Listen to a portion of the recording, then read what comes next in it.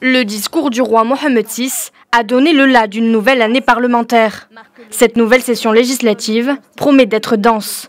Un discours royal exhaustif qui a fait réagir les parlementaires.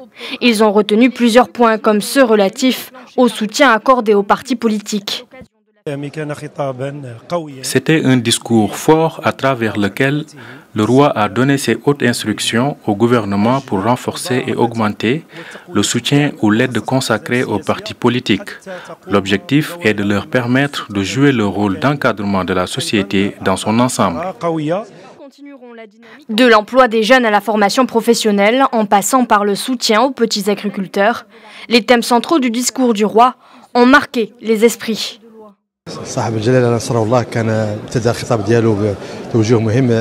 Le discours du roi a été un appel lancé pour renforcer le cadre d'évolution des formations politiques à travers le soutien financier. L'objectif est de favoriser l'émergence de toute une catégorie de jeunes cadres.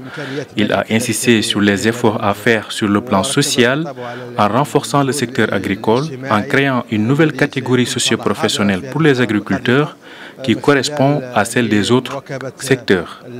Cela permettra de créer plus d'emplois dans ce secteur et d'avoir des cadres plus qualifiés.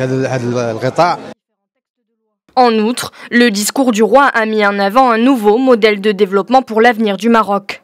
Le souverain a également appelé à la mobilisation pour la réduction des disparités sociales et spatiales, afin de consacrer la culture de la solidarité et de la cohésion sociale d'offrir de plus grandes opportunités aux jeunes et de promouvoir la situation des jeunes agricoles.